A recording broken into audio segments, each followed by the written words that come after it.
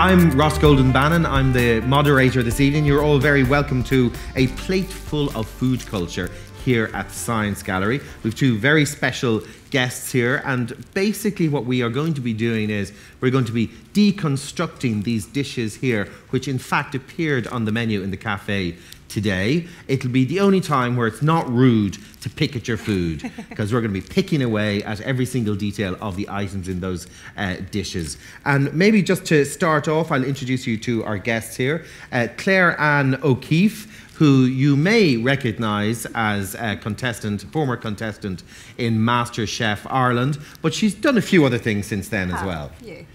Yeah, I'm the consultant chef here in the Science Gallery. Um, that kind of means I create the menus that we have in the Science Gallery Cafe, and I also work a lot of the time with the Science Gallery staff here to create um, certain food events. And outside of my Science Gallery work, I'm also doing my Masters in Culinary Innovation at the moment. Excellent. And then our next guest is Nikki Twilley, who's uh, the science correspondent for the New Yorker. We were all really impressed with that. In fact, we wanted that job. but you do lots of other things too, as well, don't you? Yes, so I'm one of many science correspondents. The science correspondent, I'd have to kill all the rest of them, which I had to kill several people to get the job in the first place. I don't want to add to my tally. But, uh, but yes, I, f- for the past five years, I've been writing a blog called Edible Geography, which is basically an excuse to write about all sorts of things uh, through the lens of food. So everything from what you eat in prison to the color of your urine. And then um, last summer, in, well, September really, I started a new project which was launching a podcast called Gastropod, looks at food through the lens of science and history, and it's an episode every other week. So um, that's been my latest project. And you're doing something else that's pretty cool as well, no? Oh, I'm ra- literally cool. I'm writing a book about refrigeration.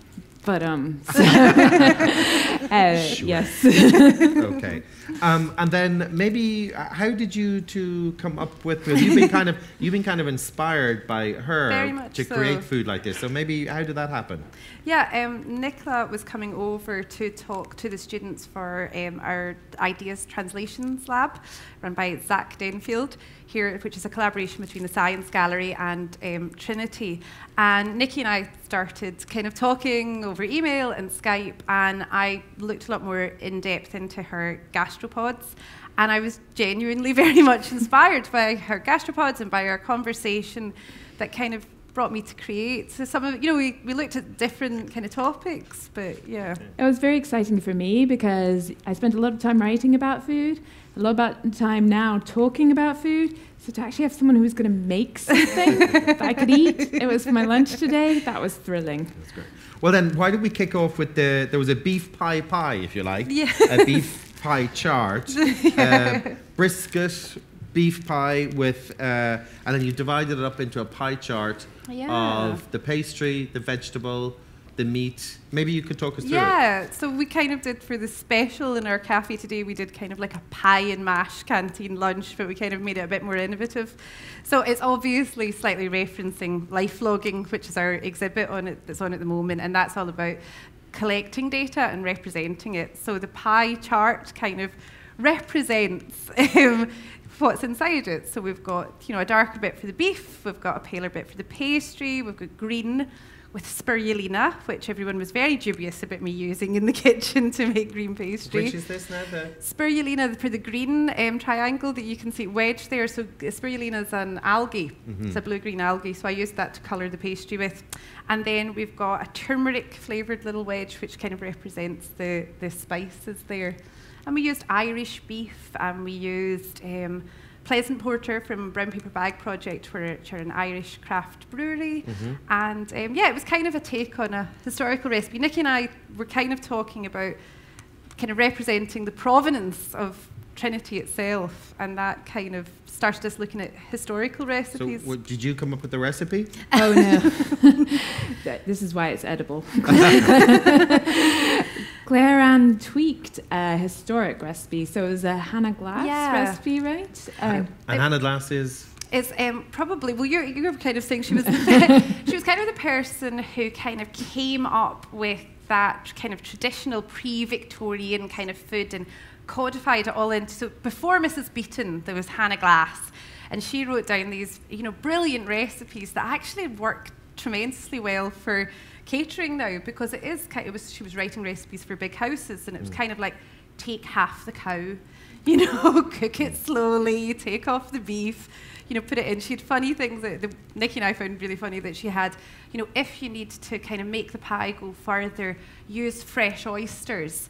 You know, stir them in. That'll that'll help your beef go further. And you know, my boss in the cafe was not really going to let me do that. So, but it, it, it, I ended up using oyster mushrooms in it. But it kind of brought up the subject that we talked, where which was about food that was kind of uh, you know, it would have been luxurious food that has now changed yeah. into what it. Or, like or I suppose the other way, yeah. Are the are the other way around? So oh. um, food gentrification. Yeah. Food gentrification. Of. So in fact, there's some interesting stories about uh, tuna fish. Yes. Um, well, so tuna, uh, bluefin tuna is a luxury. Not only a luxury, it's you know you shouldn't really eat it anymore because it's so endangered. Um, but what's interesting is this is one of my uh, side findings from refrigeration research is that in Canada, where there was a lot of bluefin being uh, caught uh, in the 80s, it was being turned into cat food. The Canadians didn't want to eat it. Nasty, nasty fish, not very popular. They'd rather have something like cod.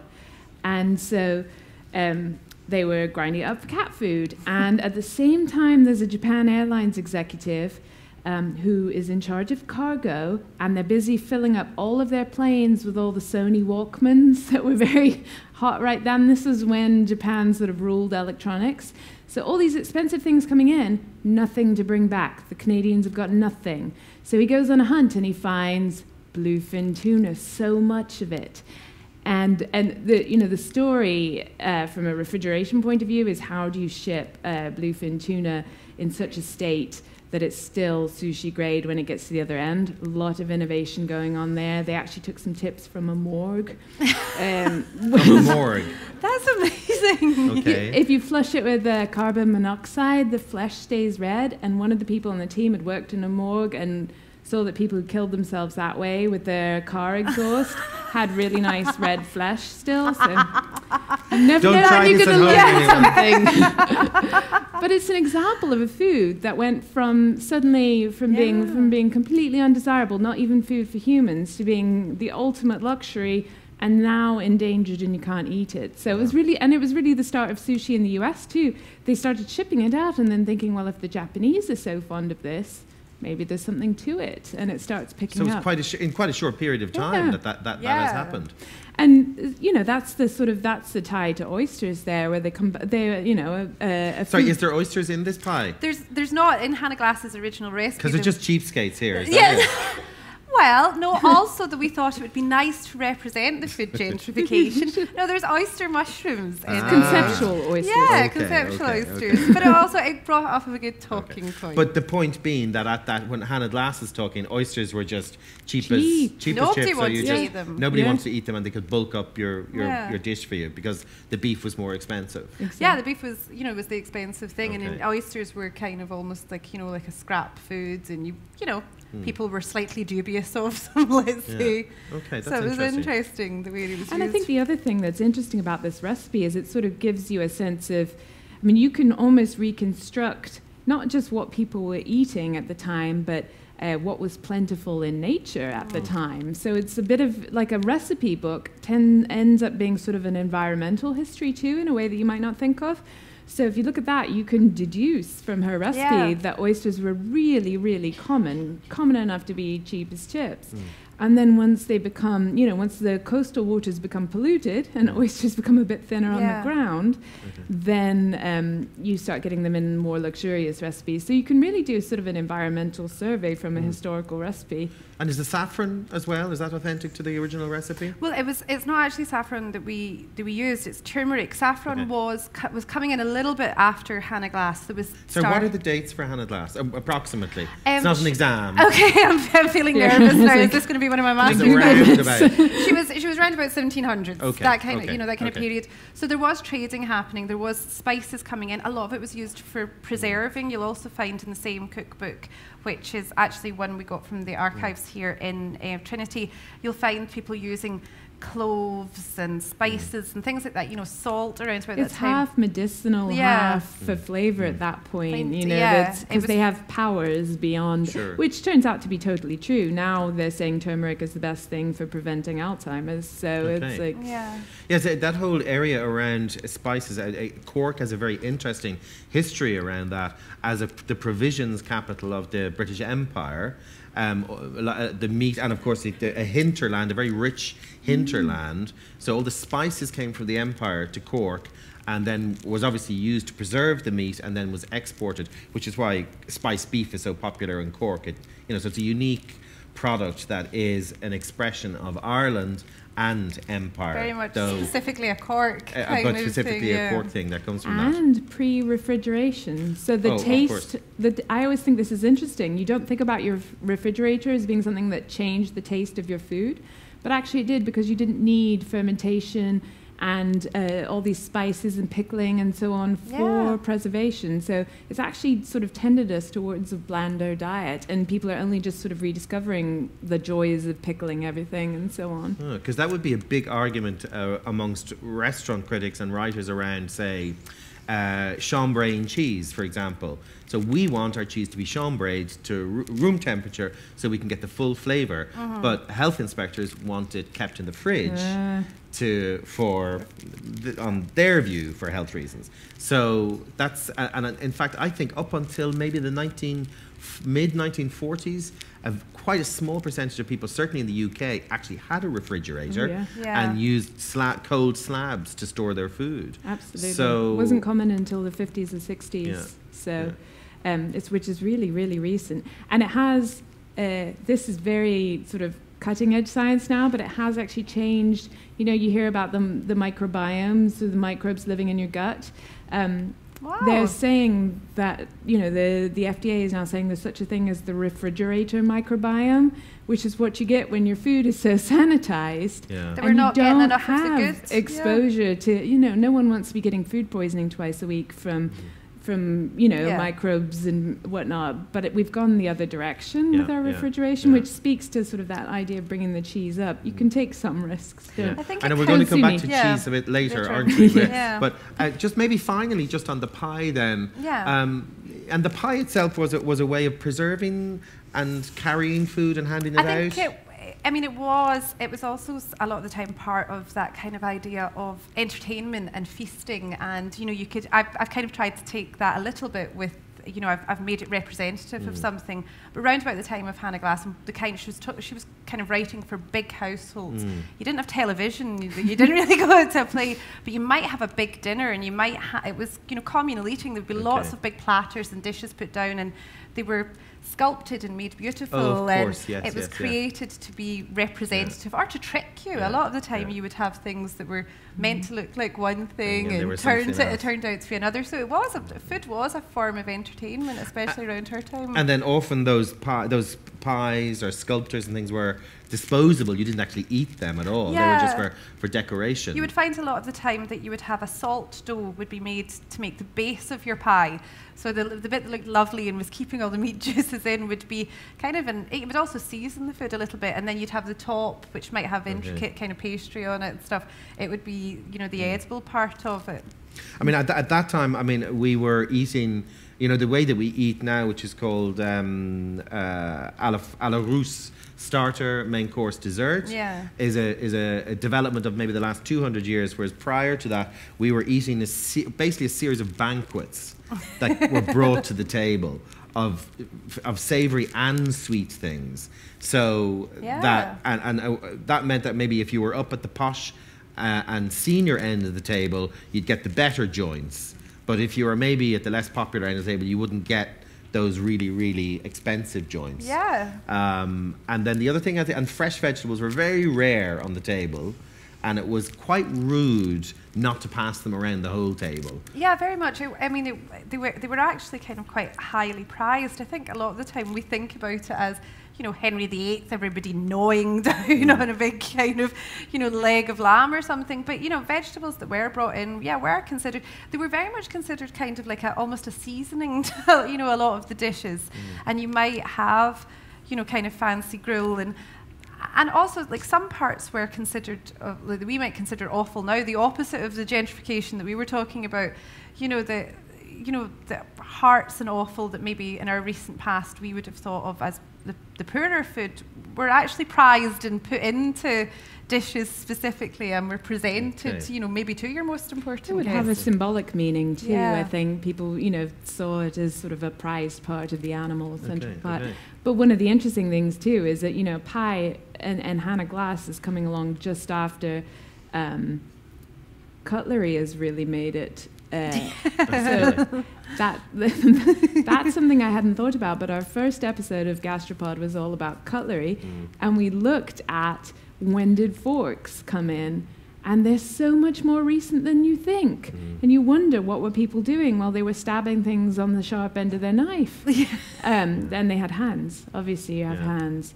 But um, but a, an actual fork, when it you know it's only coming in really about hundred years before Hannah Glasse, Yeah. and initially seen as this very very suspect thing, sort of associated with the devil because of the whole pitchfork business, um, and also very like European and um, Plus, yeah, it had started in Italy. exactly. So really, it was quite unmanly for Yeah, Northern exactly. European men to use a fork.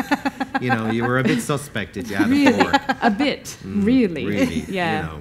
Um, a bit light on your feet, perhaps. if you had a fork. um, the Italians needed it for pasta, so it made perfect sense.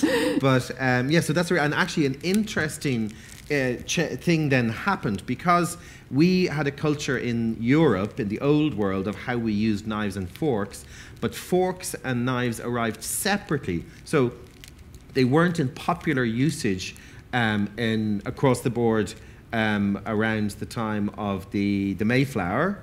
So uh, the culture of cutlery in America grew up differently from in Europe. So if you watch um, polite Americans eat, you'll notice they do this strange thing of holding the knife and fork like this and then putting the cutlery down, Yeah. swapping the cutlery around and picking up the fork. And that's because their tradition of using cutlery grew up separately from our tradition of drink. It's very funny that you should say this. So I grew up in England and my parents are English, but now I live in New York and I'm married to an American. And I do slip into the American cutlery habit. And my parents' faces when I've done that in front of them, they won't say anything, but you can see the horror. They're just like, it's worse than how my accent has gone. Like, I've definitely learned something tonight. I always wondered about that with my American Oh, friends. yeah. But what's curious about it is it's a much more complex way of eating Yes. than the way we yeah, do it. it doesn't make any sense. It's slow it you doesn't down. make any sense whatsoever. It's bizarre. But anyway. There's so many things about Anyway, America. there we go. There we go. But maybe, um, maybe we'll move on to the salad there, the Yeah. subnatural salad, which sounds a little bit scary. does. What's a? Do you want to tell us a little bit about a subnatural Yes. salad? So, subnature is a term that um, started out as an architectural term for describing the kinds of nature that you get in cities, but that people don't really think of as the good kind of nature. So, I'm talking about like puddles and mud and weeds and pigeons and like nasty urban nature as opposed to nice green natural nature. And of course, it's still nature, but it sort of somehow there's a hierarchy. So there's an architectural critic who came up with this term and sort of analyzed how, you know, subnatures that have been seen in cities and how people had tried to clear them out and things like that. And um, Tom Parker, who's a professor of French culture at Vassar, read this term and thought, that's interesting. I wonder how it applies to food. So he sort of kidnapped the idea, imported it into food, and then hosted an entire subnatural culinary culture festival um, in North Carolina on the campus of Duke University and invited people to sort of interpret what subnatural could mean, something that means puddles and pigeons. what does that mean when you try to translate it to food? Which is quite an interesting question. Yeah. So Claire, Claire had her own take on that. I was I was really inspired by Nikki's uh, podcast on it and kind of went off and did my own research and kind of had to think about it. I really like the idea of dust and the idea of something urban and you know the food that's actually growing around us that we might ignore or the food that we might not naturally eat. So I came up with a salad that, although sounds scary, I hope looks pretty. And um, this morning I was down by the canal picking wild garlic and um, dandelion leaves. and kind of put together a wild leaf salad. And um, also, I've used in it from our own kitchen when I was cooking. I kind of thought about the peelings of things that we might normally throw away. So I had potato skins that we tossed in really gorgeous olive oil and salt and toasted up. Um, you know, we took ribbons of carrot, put them in. Um, I put in seeds because although we now are all very health conscious, until recently they weren't necessarily something that we'd eat. And I kind of put it all together with a whey dressing. So, I mean, buttermilk is something that's very much part of Irish tradition, but we made a really nice salad dressing with it, and it's kind of a byproduct, really. It, it fits What, in. the, what's the point about the whey for you? So to me, to me, whey, like subnature, kind of almost represented that idea of otherness that you found in architecture and in art. And I like the way that in, like, say, in Ireland and in Holland, buttermilk is prized and used. Mm. But I mean, I, it, if you tried to find buttermilk in Scotland, where my dad's from, I mean, it would be really difficult to And find. in the US, whey is definitely it's a waste product, and it's Yeah. also a huge environmental problem. The Greek yogurt boom Yeah, has led very to these like Okay. lagoons of whey that they can't dispose of because it's so acidic. So, So yeah, so whereas we, so whereas in this culture we might use it, it's, it's it would be subnatural to, to other to people. throw it away. oh, I Yeah. thought it was very subnatural. I, I, I mean, What's- it's delicious. What's the difference between something that's subnatural or just simply foraged? Is it because it's in an urban environment you would call it subnatural? Well, I think that's what makes subnature an interesting term. Is not that we should sit here and be like that's subnatural and Yeah. that's not subnatural because obviously it changes over time. One of the interesting examples Tom Parker told me is in his own work he's been looking into the history of the word terroir, you know, like the taste of place. And he obviously now that's a very desirable quality and everyone wants to have that terroir for their wine and their cheese and everything. And and yet in the um, in the 17th century in France, it was an insult. You would say ils sont du terroir. It was like, oh, he's like a little bit rural and um, like country bumpkin. Skinny, like, yeah. So it, and so his point was less that something is subnatural forever. It's more that it's a helpful. It's, he said it's uh, it's not a category. It's a strategy, which I like. It's a strategy for thinking about the hierarchy that we end up imposing Yeah. on food, on nature, um, and the values that we're not necessarily thinking through that come with that.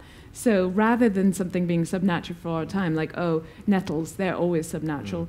No, it's more like, what is it about nettles that might make us see them one way at one Mhm. time and another way at another time?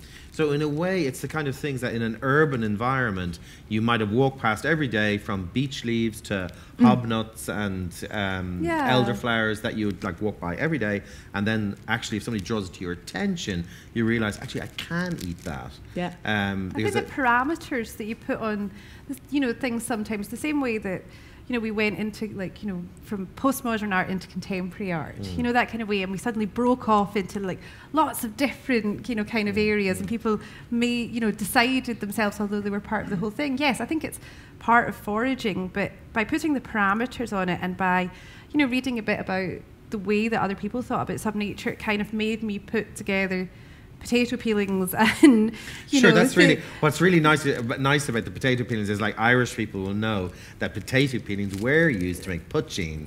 so it's nice to see them in a more healthy Health environment of salad. You, you have some pictures Well, yeah, of, I was going um, to say what was so interesting about what ClareAnne did. I'm just going to scroll through. Um, I- oh, here we go. Well, so this was what's so interesting about what ClareAnne did was, and seeing how what subnatural turned into here is that it's this is what subnatural looks like. This is what this is what subnatural looks like in North Carolina. So it's a different thing in a Yeah. different place. These are um, uh, Quail, pigeons yeah. being uh, roasted over um, uh, coals in a in a car park, um, and then this is a she on the, uh, the bottom right there. That's a sturgeon coated in um, corn smut, wheat That's kind of a lacoche. yeah. yeah. What's corn smut? Um, well, it's a delicacy in Mexico. Huitlacoche. It's a it's a sort of fungus that grows on corn Okay. if you ever kind get a back chance to to have it, it's so delicious. Back What to the does it look like? app, it would look. It would be dark. considered mold. It's mold. It's Yeah, a it's black mold. mold. If you saw it growing in your shower, you'd be like, I ought to clean this. Um, ought to have cleaned it a while back. And will you scrape it off the corn and Do you know, I don't know how they harvest okay. it. It Okay. We- we need think to look into I that. I think it comes from the. It's not. It comes from the stalk. of From the- yeah, from on the leaves. on the leaves and the outside, and it's, it would kind of be Wow. considered a blight. Yeah, but it's in a fungus, Mexico, a it is a delicacy. But it's a delicacy. like truffles would be. Okay. Okay. Yeah, Yeah. exactly. Yeah. And then what else have you got here? Uh, so, and then on the top right is their smokehouse. So, for some things, they went quite literal, and smoke is was one of the architectural categories of subnature. So, they built a smokehouse. Smoking is quite, um, uh, you know, it's uh, I don't know that it's really subnatural in culinary terms. it was quite interesting on the campus of Duke because, as it happens, Duke University was built on tobacco money. So it's sort of an odd reference to that, and and it turned out to be in the smokers, the area that the smokers had used Like previously. would yeah, like, smoke. Yeah. so actually, they would come up and just sort of stand next to it and smoke. So it ended up being a sort of double smoke situation. Plus, But- plus it's a it's a pres- it's a way of preserving food before refrigeration. Yeah. refrigeration, exactly, exactly. So, um, so I think, yeah, it, w- that was what was so interesting for me about subnature was just seeing that the, the what subnature looks like in North Carolina is not at all the same as what Sure. Subnature isn't looks like in Ireland, and that that's sort of the point. It's meant as a sort of a way of thinking about the judgments you're making, rather than oh, now I have a new name for this. Okay, because I know, well, for example, nettles, we all like nettles are a weed to us, really. Yeah. We're only now beginning to accept that maybe there's something a little bit more to nettles than a weed. Um, and I know the lovely that lovely couple who own Wild About products and they collect wild, oh, yeah, you know, they, do lots of chutneys. they do lovely chutneys and they, yeah. they've, they have a beautiful nettle pesto.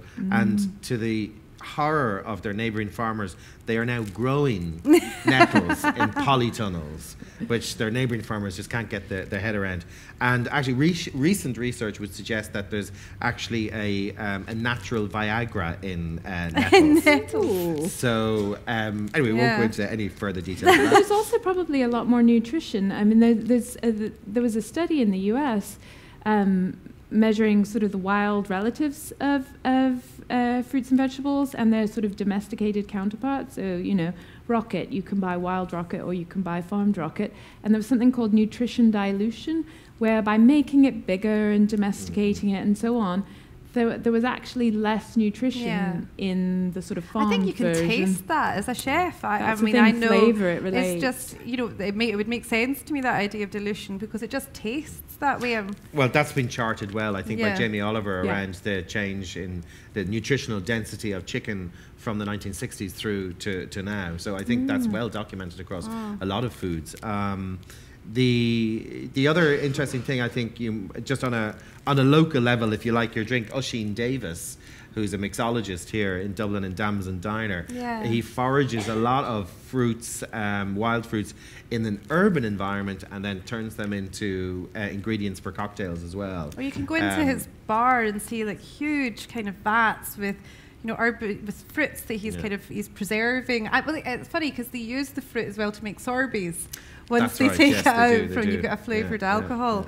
The funny thing I like about that as well is that, you know, often people are little. My husband's like this. He's very reluctant to have something that's been foraged from an urban environment because he thinks it's dirty. Yeah. And I think well, you're walking around breathing that in. I hate to break it to you, but you're, li- you know, if you're worried about that on your food, it's in your lungs and it's already, you know. I think we discussed it with, with some of the students Yeah. from, from Zach's class and about like would you be nervous about eating it? And it was funny the different kind of reactions that people had.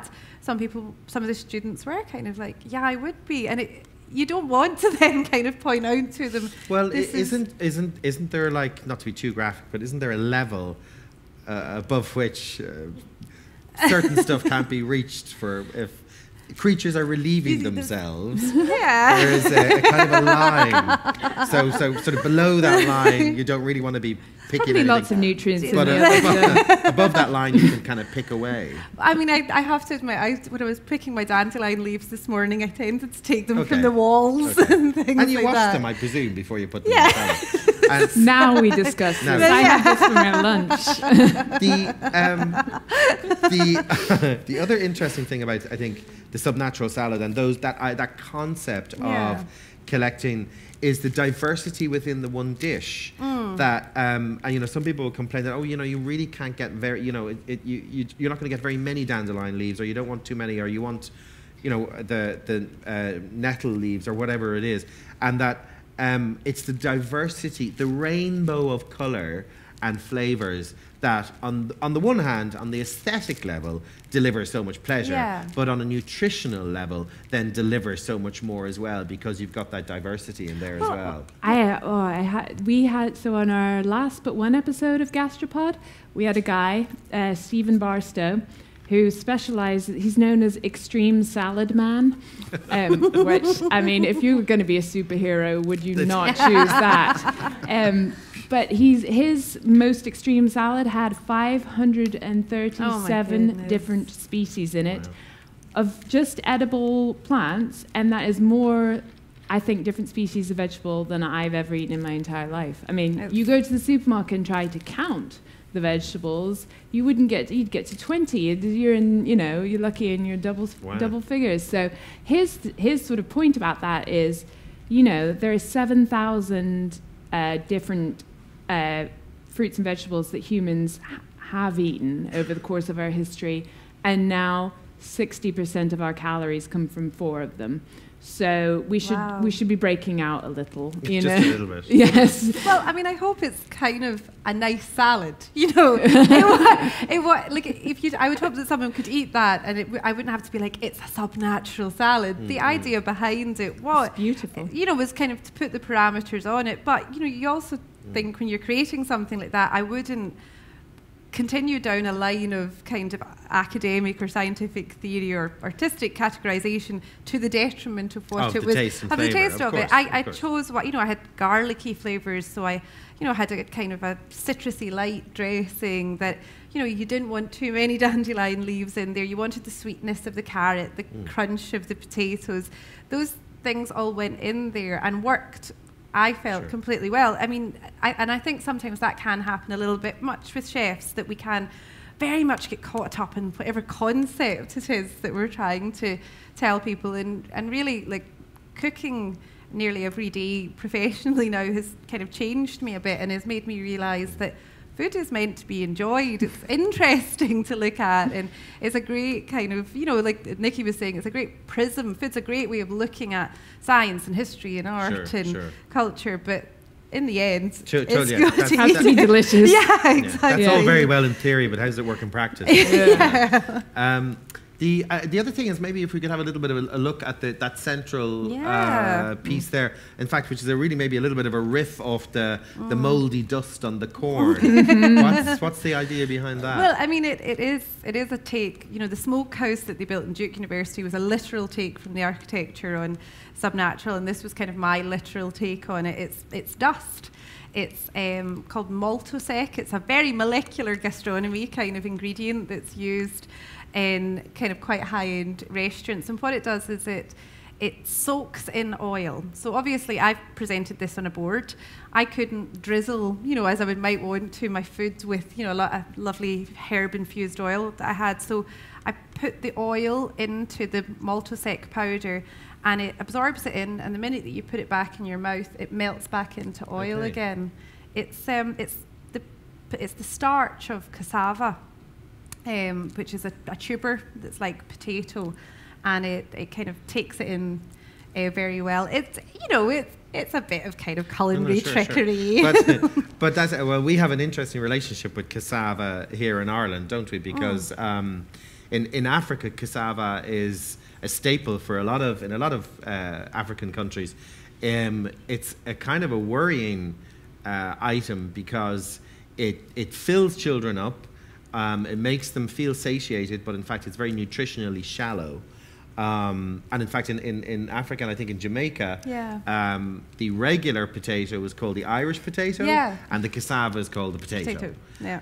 Um, but uh, the rather sad and curious thing, in certainly in some Eastern African countries like uh, in Ru- Rwanda, uh, sorry, Western uh, Rwanda and Eastern Congo, is that the local populations aren't aware that the leaves are actually very nutritionally dense and they discard them. I didn't know this And either. They, yeah, say, yeah. and they and they eat the, the cassava and stuff. But what I didn't know was that the, the extract is used in very high end culinary. Yeah. Yeah. Well, yeah. it's interesting to me. I mean, it was interesting in a couple of ways. Like, one, to have, you know, you've got a Hannah Glasse recipe on one side of the plate, and then you've got this, like, unbelievably, like, molecular gastronomy thing right next to it. Yeah. And that's science and history. I mean, because that's what. Um, I think is so Yeah. interesting doing gastropod. When you put these things together, you s- suddenly get unexpected insights. And then the other thing is that I didn't know that was made from cassava. And in Yeah. fact, um, d- we w- had an episode where we looked, we were looking at actually using microbes in ag- agriculture, but the plant that we were looking at that with was cassava. Turns out Bill Gates calls it the stud of the vegetable world. I was like, why? I had to look up a picture of it after that. I was- yeah, you're like, is there something to see here? Um, I think it is because he's very enthusiastic about actually. It, it's very um, it's very well adapted for poor soils. yeah, it um, does grow well. Really uh, variable climates. It does well in marginal areas, and so that for that reason, it's ended up being a staple food, which Yeah. has its problems, but Yeah. also sort of has it's a well, if it's used food. as a whole, if the Right. whole plant is used, Used. then you know it's I think different. it's interesting to see the you, you know the kind of the conflict with that. That some Yeah. people would be saying, Hmm. plant this, it will grow in these Bill areas. Gates. Yeah, Bill Gates. and he has so- a lot of money. yeah. Yeah, yeah, yeah. and the, I mean, well, I I didn't really realize that you could. I certainly I've come across cassava in Jamaica when I've been traveling there, but I didn't know you could eat the leaves. And I know, especially in Jamaica, people won't eat it because it's connected as a, a you know a poverty food, a famine food. Yeah. That you know you can like Nikki was kind of saying you can tell a lot about a culture by looking at the recipes they use, and as you know the West Indies becomes more Americanized and you know more money comes in, people want to leave that you know behind. It, it seems poverty stricken to them, so it's, it's it's an interesting way to look at so many different things. Mm. No, well, and indeed, the, the massive growth in dairy consumption in, in China and uh, Asia Yeah. uh, is part of that drive towards a, a, a perception that dairy consumption is about um, prosperity Yeah. and modernity, and so their diets are shifting over towards that. Um, Do you know, I looked into this a little actually because I was reporting about refrigeration again in China. And of course, you need refrigeration, you know, for your fresh dairy. So it's a big part of that story. But, it's, it's so funny because yogurt is actually the, the big, you know, big um, dairy companies, the Unilevers and whatnot. Yogurt, they call it the yogurt strategy for Asia, Asia because their plan is to get everyone eating yogurt as sort of the gateway to the rest of the dairy universe. Here you have a population that's like traditionally lactose intolerant, so yogurt's a little easier to deal with. So, and they market it in the weirdest way. It's all about your skin. So lots of teenage girls with beautiful skin holding like drinkable Yeah. yogurts next to it as if Okay. the two are connected in some way. related. And the other worrying part of that, of course, is that Ireland is such a huge exporter of powdered infant uh, formula. Um, I think uh, we have 15% of the global market in infant formula. Really? So, personally, I think there is a link between the fact that we have the lowest uptake of breastfeeding Yes. in uh, Europe, and I. I think there's a connection there, but anyway.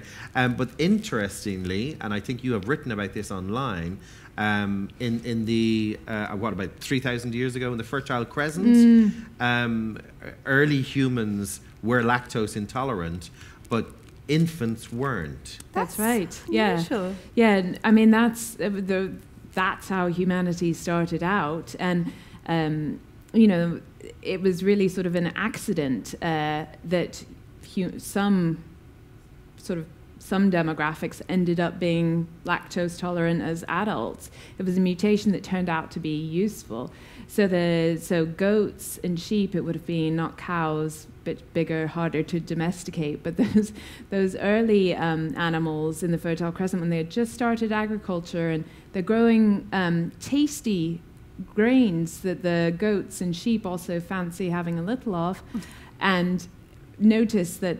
Um, they produced milk and they knew their own infants consumed milk Yeah. and so made that connection and um, and then made the cheese connection, and through cheese gradually became lactose tolerant. Right, and it's right. that population spreading to Europe and also um, India that sort of carries that with it, whereas other parts of the world not so much. So I'm not suggesting that there's this grand plan to feed um, infants in China. There is, uh, but uh, there probably is. Yeah. Conspiracy. Uh, yeah, there probably is. It's a conspiracy. Um, but um, maybe if we will we move on to Yeah. the other item there, uh, which is the potato cake.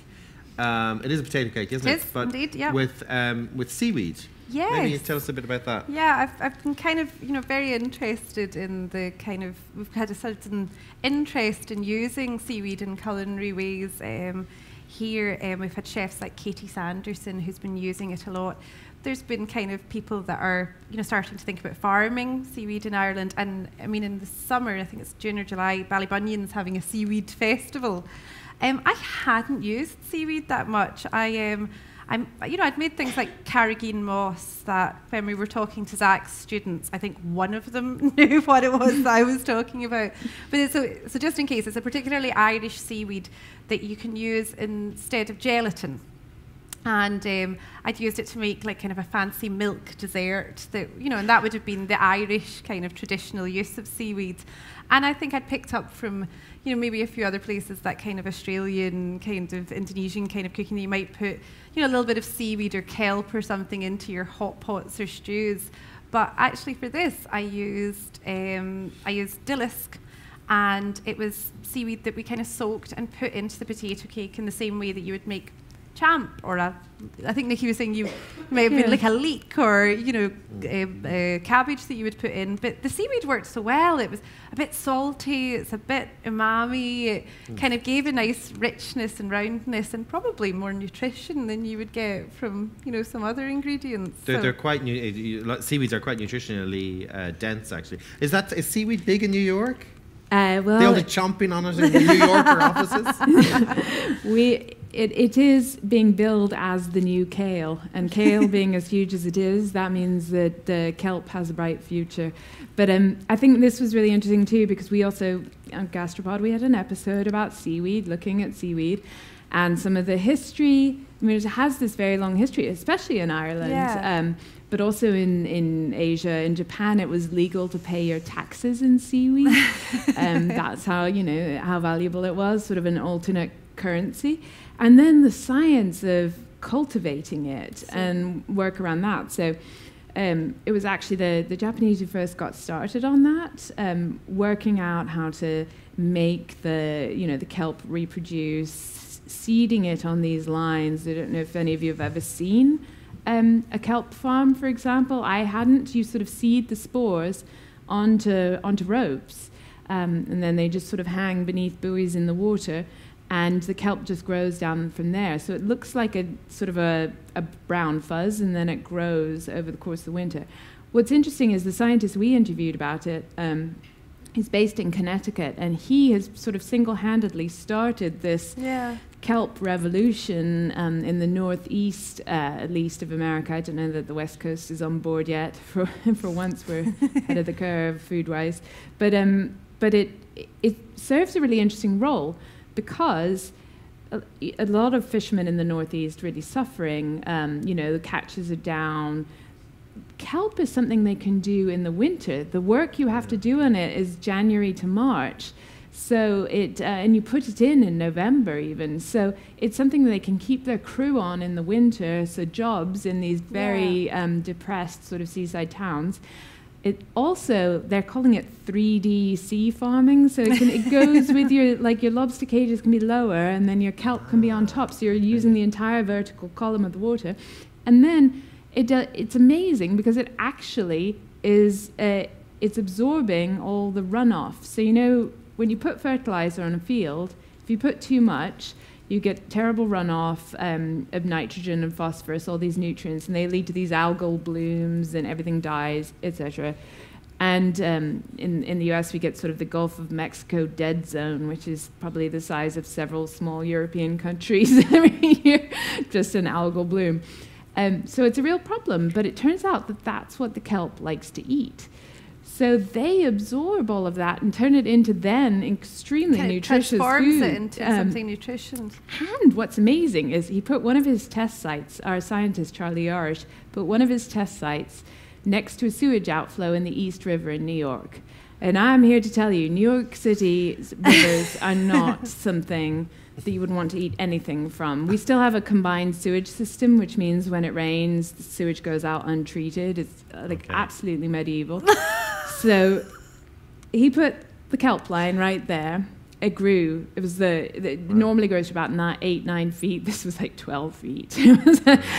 But he had it tested, and it didn't absorb any of the heavy metals, Yeah, the I think PCBs, people are all those just sorts of of- things. Right, It was right. absolutely. He was like, not only did it meet the FDA standards, it met the French standards, And- which are obviously, I mean, the FDA will let you eat anything, as we know. But but so it was. It's quite an interesting. Um, you know, it has a lot of interesting potential both economically and environmentally. So then the question is, how do you get Americans to eat it? Because it's not a traditional food. No. So I'm just going to bring them your potato cake. well, there's, um, I don't know if you got you got your seaweed from um, Celtic Sea, uh, sea Veg, yeah, is it? Celtic They're sea veg. over in, um, help me out here, uh, Well- Clare. They're over in Clare. Um, no, I've been over myself and they have a fantastic operation there. Yeah. Um, and but they are harvesting it from the wild, if you like. Mm. They have a there's a rule in general foraging terms. If you do decide to go out foraging, that uh, a rule of three that like a third for you, a third for the animal, the other animals, and a third left behind to Yeah, grow very much so. for the next season. So um, uh, they managed that very well over there, and they uh, actually they had a very interesting dealings with the FDA because they had to send the water, water samples over because they were exporting to Dean and DeLuca, I think, in New York. Really? Yeah. And the F- FDA rejected their water samples, and they had to get them tested several other times. And the, they discovered in the end the reason they rejected them was because they didn't believe them because the water was so pure there. Um, never seen anything Never like seen it. anything like it because it's the Atlantic coast, you know. Yeah. So, um, but I use it a lot as a. They sell it dried yeah. In little sort of containers. You can buy it in bigger packets as well that you reconstitute. But um, uh, I, it's really lovely as a kind of um, a seasoning. Well, I mean, I put the dried seaweed straight into the kind of the buttery mash. Yeah. You know, I think people kind of sometimes reconstitute it, and I mean, I have to say, I've tried to give my dad a seaweed a salad with seaweed and things in it, and I, you know, I served it up. I was really excited. I'd kind of made a sea urchin butter to go with the steak, and I was serving it with you know a mm. seaweed salad, and. He was like, "Yeah, the steak's fine. I'm just, you know, I'm it, having it- none of that." I haven't none of that. It, it was just that kind of. I think it's it's the texture of it, and I think you can bring people in. I think putting it in a potato cake is a really nice way. You crumble it, like Ross was saying, mm. crumble it in dry, and you kind of mash it up. It will reconstitute in there, and it it just has the you know a lovely kind of phosphorusy, umami kind of you know. Well, it does have that. That's is, isn't that salty. that classic the Yeah. umami that Yeah. that fifth flavor, if you like, that the Japanese apparently discovered 120 years ago, and then re, then recreated as MSG. Um, but it- it does have so it does have to add that sort of. Um, beefy, savory flavor Yeah. to things. If you're really yearning after that, that kind of flavor, so um, I, I love it. Actually, I have to say. What's think that- interesting is in the US, they've decided that Americans won't eat it dried. Um, so they're Ah. doing it fresh frozen for people in packs. So you buy it like you would buy some frozen spinach or something. It's just they've just like blanched it and ready to serve like that. And they're thinking people will put it in smoothies. That's Okay. the Oh, thinking. because of the kale Yeah, smoothies and um, things. People yeah. will do anything if you could juice it. So. But it's Nutribullets have changed everybody's breakfast. it is one of those curious items in that it's it's again um, on the on the shoreline in, in Ireland. There's all that stuff that Irish people didn't eat for generations Yeah. because of the famine history connected to Yeah. shellfish and seashore and seaweed. And we're only returning to them now. And it's just interesting. You're talking about the, the below the kelp is the the lobsters, Mm. which used to be so plentiful. Canadians farmers used to plough them into the soil. I can't believe that. So, and Yeah. then we were back to what we were talking about earlier about Yeah. uh, oysters used just as a filler Yeah. uh, in a beef. So it's interesting to see the cycle of uh, of a food over time. Well, and the Um, amazing amazing damage we did to our coastal waters as well. I mean, I think, uh, especially in the US, the story is that those things were so incredibly plentiful. And then they, I mean, oysters were, you know, the And what was the damage that was that was done to the? I know- mean, the sewage outflow, Okay. the dumping into the water. Of, of, I mean, everything. I mean, uh, rivers were open sewers for a city. I mean, I'm sure Dublin was no different. You know, the Thames was like disgusting in London. It's you, so uh, it became inedible and is you know t- recovering that coastal water that we used as a dumping ground. The richness that was lost is incredible. It's going to be difficult.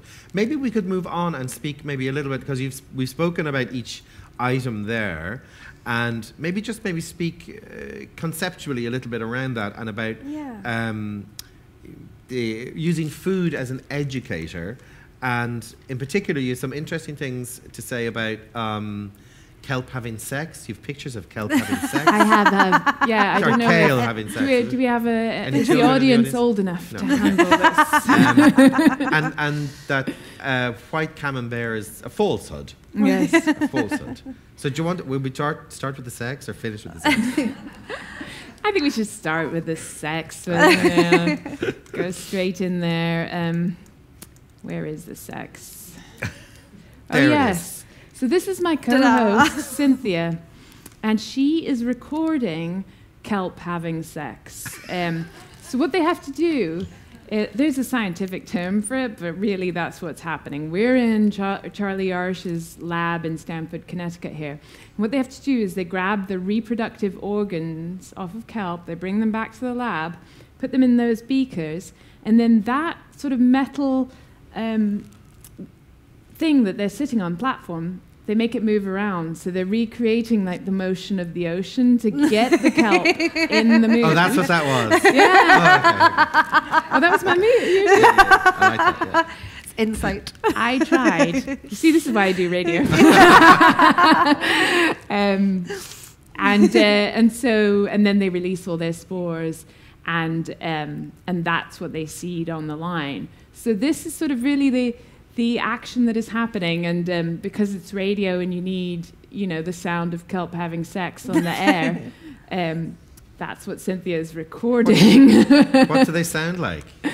Uh, I mean, they're not. There's passionate cries. Guys. Oh, you know, Is No. it a bit the sound of the motion It's the sound of the motion. Yeah, I don't want to be Okay. mean and sciencey about it. but it's that's- radio. People are doing a little filling in in their head. okay. We sort of let them imagine Okay. what kelp sex might sound like. We'll have a cigarette. I know. We had a moment, pause afterwards. Ah, well, with that out of the way. maybe the, the camembert. This is an interesting story, actually, about the camembert. yeah. So, um, well, you were kind of yeah. because we were looking at, or I used, I made canopies for the launch of Life Logging we Lab that were pie chart Canopies for what? The, the, the start, the launch of Life Logging, which is our exhibit that's on um, here at the moment, it's all about data collection and then how you represent it. So part of my job here in the Science Gallery is to create themed canopies for the launch of things. I'm gonna put So for in the launch of um, life logging, which is the exhibit, um, I did um, bar chart um, or bar graphed. Um, what was it Irish pies that had like um, there were Irish Irish stew pies, so they had the Irish stew, and then they had orange layer for the carrot, and then they had the Mm, potato, and they looked like yeah. bar graphs. And we did mini versions of these pie chart pies. Pie chart Okay. But pies. They, I mean, they are kind of cutesy, but they're also the idea of like you can use foods to engage people, and to you know if you can eat something, you're kind of you might kind of go, well, what's this about? They can be representative. They can also draw people in, and I think there's lots of ways that Nicola and I kind of discussed. Um, you know, of especially um, I think it was I think the biome one I really liked, Yeah. the idea of using cheese. I, when I was studying science, I remember kind of putting things in petri dishes and you know kind of looking at how microbes grew or you know looking at different spores and things and they actually do that with cheese. Yeah, I think that's what we got. I mean, it's both excited as basically food is a way to talk about all sorts of interesting things. Yeah. So you can make a pie chart. Um, the the uh, one I got excited about was um, was cheese microbes. So this this that we're looking at right here is a Stilton. The rind of a Stilton looks like outer space, isn't? Fabulous. Um, this is a Comté, the rind of a Comté again cheese. Um, and so this this is from our most recent episode, which was all about cheese, and which I thought was really interesting because, you know, often you're still talking about food for food's sake, but in this particular case, cheese is actually being used for science. So yeah, the cheese was kind of secondary to Y- yeah, the cheese just discovery. happens to be a useful Yeah. sort of thing. So what happens is, I mean, we now know that microbes are really important. We know that the microbes in our gut are very important. We know the microbes in soil are very important. We know that you know all of these. But there's so many of them, and we don't know how they work together. We don't even know how they uh, how they interact, how they know the other ones are there. We can't grow most of them in the lab to even study them. It's a massive it's a massive problem because they actually turn out to be sort of unbelievably important, and yet we really don't have sort of a handle on them. So we interviewed this scientist called Ben Wolfe uh, at Tufts University, and he just outside Boston, and he had the insight that cheese rinds are like mini microbial ecosystems already. So it's like a like a forest or the soil or your gut, but just in miniature. It's kind of contained, It's so it's easier contained, to it's look a at. model. Yeah. We know we know it because we've like we, we know the conditions, we know how to grow it, we know what to Yeah. look for, we know which molds are interacting. We've done the analysis on that. So he's actually using cheese rinds um, as a way to sort of explore how these microbes interact with each other. So what he'll do is he'll get he'll isolate the different species off of the rinds, put them in a petri dish, which is not really a petri dish. He actually uses cheese curd curd, in, in the so he calls it an in, in vitro cheese. Sounds Also, my cheese revolting. curds that I was using for my dressing, he's Totally also relevant. He's on it. Yours yeah. doesn't look like that. Thank God. um, but he put he'll put two in there together to see. It's sort of like a cage fight situation. Like what? Yeah. How do these interact? You know, they produce different chemicals in the presence of different microbes. And this kind of shows how we can then model from that. If we can understand how things are working like that in such a small way, we With can food. apply that to a forest or to Yeah. the seashore or to huge kind of areas. But then the whole then the other thing about that and then is I presume that then over time all microsystems all systems change and grow over time. Oh, yeah. Mm-hmm. So, you know, over several thousand years of human life we have grown taller and all these other things. So is that the same with cheese then? It is. And actually, he's working on the future of cheese. He's like, oh, well, now that I understand the microbes that go in, maybe I could swap some out. So he's introducing new microbes for new flavors. But what he also told me, and what we're looking at a picture of right now, is an interesting example of cheese evolution. So what happened is this, this bluey green that you're looking at, rather attractive, was the original color of camembert. So you think of camembert as white, I did anyway. yeah. Um, and that's not the case. This is Penicillium cam- camemberti. like this is what it is, and um, and it was originally this color. And what's so interesting is that and camembert originally made in in Normandy, and you know by the farmers' wives, um, was this blue in the literature you read people say oh it's blue it's blue green it's sort of a greeny gray sometimes So people they were kind of call it. preserving the excess milk and kind of, you know, going, well, that seems an okay, Yeah, you know, bloom was just a that's on farmhouse, it. yeah. just a farmhouse cheese. and then what happens is you get um, this this particular microbe will spontaneously occasionally mutate and throw up a white version. Um, so that would happen, and they would get white spots on them, or sometimes an entirely white one, which was seen as the odd one out. But as the railway system develops in France at the end of the uh, end of the 19th century, and as these cheeses start leaving their little community where people know them, and they start going to Paris, where the cosmopolitan um, Okay. people are eating, Eating, them and are wondering where they come from, um, not knowing.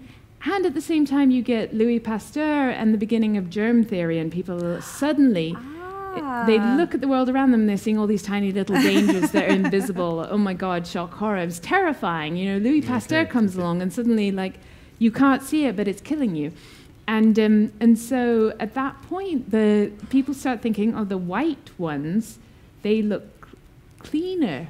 They're they're pure somehow. Maybe they haven't got the so it's nasty the microbes. same selection that we find with our fruits and vegetables It's nowadays. totally got selected Okay, for. okay, okay. Absolutely, over So a it's a- period of 30 years, the blue green ones disappear. Disappeared, and now we have the white one. Yep. So, in fact, not unlike the, what happened to humans in the Fertile Crescent. Exactly. Um, it's all selection. it's all scary stuff. I know. Okay. Well, well, um, that's what's so interesting about food. It ends up telling you so much about what we want because we've made it that way. Mm-hmm. Right, right. Yeah. Well, I, we, I think we have a little bit of time for some questions from the audience if you had any questions. Or indeed, we'll take heckling as well if you- if, you, wanted to heckle. Criticism. You can tell us where we're going wrong. tips for next time. And I think we have a couple of mics as well. So there we go, some mics there. So any questions there? Do you want to pop your hand up? There's one over here.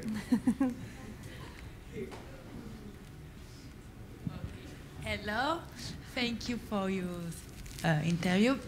I have a question. You say culture is important, diversification, also have food, but today you have many competition in food, many people do it, you have many TV show about it. Yeah. And how is it important for you, the creativity in your recipe? And how do you, how do you do to find innovation and creativity when you cook? Was it Um, important for you? Uh, Uh, yeah. wh- where do you? I suspect that uh, accent is not from Dublin.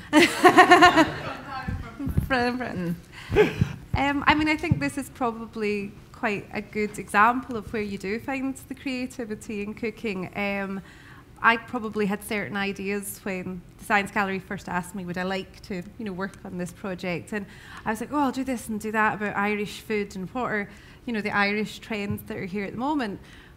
But your ideas change by, you know, the people that you deal with. And um, it was Nikki and I kind of having conversations about me putting parameters. I'm a great advocate of the idea if you limit yourself in, in any way, there's so much, yeah, you're right, there are so many cooking programs and there's so much choice and there's so much of everything out there. So I, I don't feel there's anything wrong with some of the trends. Yeah, if you want to make it from 10 miles around where you are, if you want to look at a certain country's cuisine, if you want to look at a subnatural kind of idea, these things are great. And it, I think that kind of limiting and putting parameters kind of almost forces you into creativity. And I, I find that's um, kind of a good way. It, it can be anything. I mean, you've got books nowadays that are about budget cooking. Jack Monroe is a great one Yeah. that's kind of, you know, she learned to cook on a very low budget and she got brilliant recipes that came out from that. So I think, yeah, sometimes limiting is the best way. It's even true with the podcast. We deliberately said science and history and half and half per episode, and that forces it. It keeps you on track. When you take a topic like cheese, which is our last episode, I mean, you could talk. I mean, cheese. You, there's literally no end to the things that have been written and said and thought about cheese. You go forever.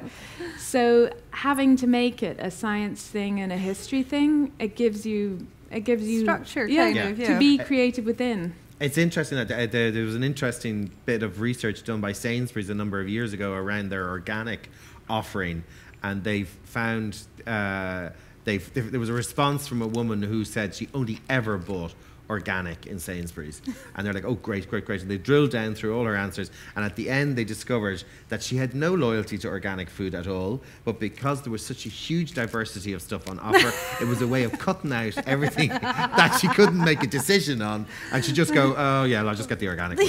Yeah. So, so actually, by giving yourself a frame, it, it, it can be really, really helpful in making decisions about creativity as well. Yeah. Are there any, any other questions there? Or heckles? Oh, we've got one over here. And then we have another one here, this lady here with the glass. I was just wondering if you can still get the dishes, or if today was the only. Yeah, we're, we, I mean, we're going to serve um, the dishes tomorrow for lunch.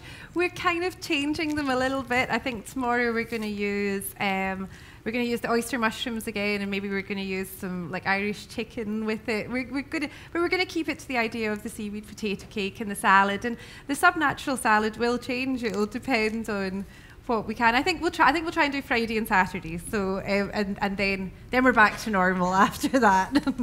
And I think we, we take one more question from this lady just here.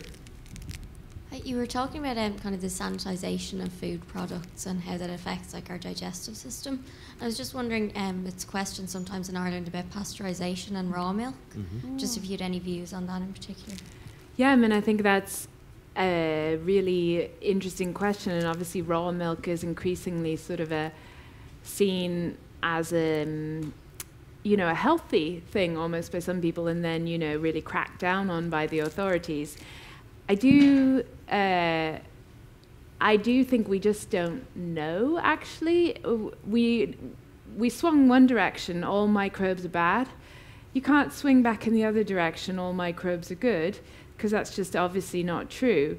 So um, I don't think I would necessarily uh, recommend. Oh, we should all advocate for d- drinking raw milk. Yeah. I do think that there's a problem um, with too much hygiene and um, what's what that's done to our digestive systems. But I don't think the solution to that is to run out and you know You try to give yourself food poisoning. so it's you know it's it, Yep. it's well, I put my cards on the table. I'm a supporter of the raw milk campaign in Ireland. yeah.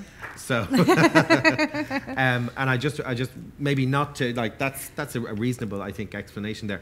But I think it's worth just also remarking that um, uh, three or four years ago, the government tried to ban the production and sale of raw milk in Ireland, and a ban, a very small band of very dedicated people, Elizabeth Ryan, Yeah. um, uh, David Tierney, the late David great Ti- David, David Tierney, um, uh, got together and worked very hard and got the government to turn around on it.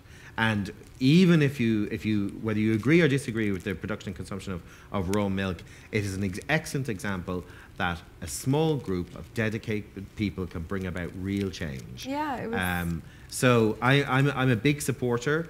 Um, I don't particularly like it myself, um, but that doesn't mean other people people should. the option, Other yeah. people should have the, the option. Well, we've served it here in the Science Gallery. We had um, our exhibit in 2012 was edible, and I was one of the curators for the meals as part of that, and I had to create a meal that was about future nostalgia, and it was what you thought food was going to be like as a child, you know, what you thought it was going to be mm. like in the future, and I created a kind of a drink as part of the, you know, the thing, and it was hot raw milk. Hot, so it was frozen hot raw milk. Okay. And we took raw milk and we infused it with chilies and ah, we okay. kind of made it really, really cold and served it as a shot. And I was a bit trepidatious about serving. You know, like I was, I kind of said to everybody, you know, that it was raw milk and we got it from David Tiernan. And, and I think that people asked questions about it. They asked about, you know, kind of why it had been pasteurized in the first place, that we started a discussion about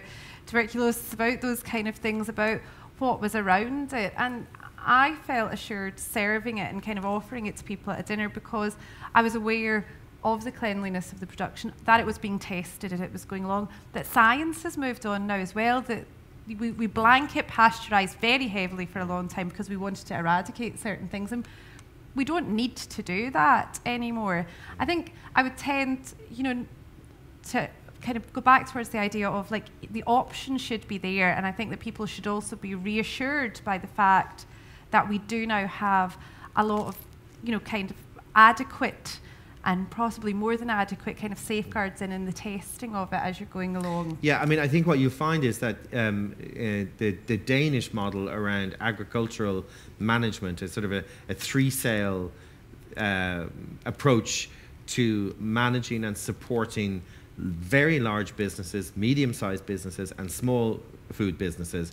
Um, is a model that we need to move towards. Yeah. Unfortunately, what we have done is we have only focused on mass food producers and mass food consumption in Ireland, and we're promoting ourselves internationally with the window dressing of our small artisans. Um, I mean, if you look at the Harvest 2020, the Department of Agriculture's white paper on the future of food production and consumption in Ireland, it's lavishly illustrated with pictures of farmers' markets, and um, but authored by some of the biggest food conglomerates on the planet. Yeah. So, uh, you know, we, we really need to have a proper think about how we are approaching our, our food policy, and raw milk is, is a touchstone in that area, really. Um, and of course, raw cheese Yeah, as well and around along that. with that, so, um, And even officials in the departments will accept that our legislation around food has been created for the big food market. It hasn't been created. Sorry, regulations, health regulations, have been created for big food production and not for small and food it's producers. easier for them to not delineate and not to look Exactly, at things. It's yeah, easier yeah. to have a blanket, and I think it is important, especially. You know the people that are coming up through, you know, the food um, specialty food department in UCC, where I studied for a while, where it's at, they're actually looking at, you know, it's one of these strange ones. Of course, it's a lot of the funding for it comes from Danone, but at least there is. I know. At least we are looking at, you know, smaller kind of specialty food production um, units there, and actually to people to stand up and advocate and you know, and say, no, this is not going to help my business work. And like you said with the raw milk, there's got to be sometimes people have got to stand up and shout about it. Well, um, I just I think we're I'm just looking at the, the I know. clock here. Yeah. So we are getting towards the end of our uh, agreed time, and I just wanted to make sure if there were any other questions before we conclude. No. Oh, one more here. Gentleman here. We've staff rushing to your aid now. Jogging. Should have had more raw milk this morning. Thank you very much. Uh, most interesting talk. Uh, two quick questions. One is, does Nicola still have a fridge? and the other one would be, if uh, would the Restaurants Associations of Ireland would they sort of issue a card that people could carry saying, "I'm willing to take my steak tartare, my cheese chambré," and you just you you effectively indemnify the restaurant against it. what an absolutely brilliant idea. yeah. Um, I really like the sound of that. Yeah. Okay. Yeah. Um, I have In a fact, fridge because you have to keep your beer cold. yeah, Well, on that note, uh, we just uh, finish up. Um, thank um, the Science Gallery very much indeed for hosting the event uh, uh, this evening. Um, thank our guests. Maybe uh, ClareAnne would maybe tell us what, what have you got coming up in the next? Yeah, I've been so inspired by meeting Nikki and um, learning about subnatural foods that uh, towards the end of April I'm hosting or I'm creating a dinner installation in um, uh, the gallery off Talbot Street called Art Lab. And um, in there, I'll be looking at in more de- in-depth kind of look at subnatural foods and how it relates to Dublin. So I'm very much looking forward And where to will people find out about that? Um, if you look at um, Art Lab, um, Art Lab. On, online, Okay, yeah. great. And Nikki, what, what have you got coming up? Well, I'm working on the next e- episode of Gastropod, which is all about the history and science of artificial flavors. M- really bizarre uh, chemical history and then the genetically modified future. So, um, gastropod.com, you can listen to that when it comes out. Okay, great. And um, just in case you're interested, I have beautiful Do segue. Beautiful segue. Um, I have a piece in the Saturday Independent on the end of the milk quotas and the great evil that powdered milk is. Thank Thank you all very much Thank indeed. you. See you all soon.